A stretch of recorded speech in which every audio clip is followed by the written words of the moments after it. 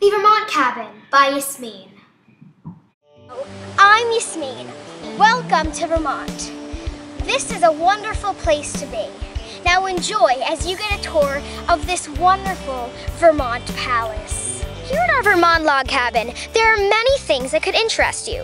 For instance, our beautiful pond. It has crystal clear waters and is chilly, so is nice on a hot summer day.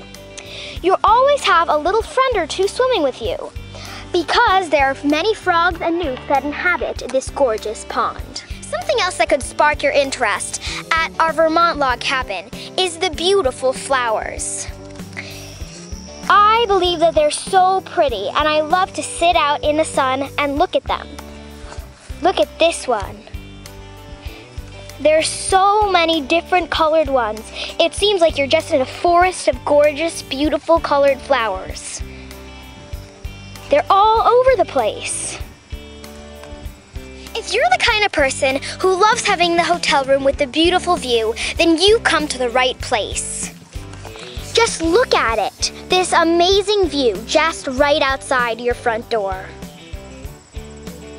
Vermont Log Cabin, you're wedged into the forest, where creatures like crickets and even sometimes snakes are surrounding you. If you have an interest in connecting with nature, then this is the place to be.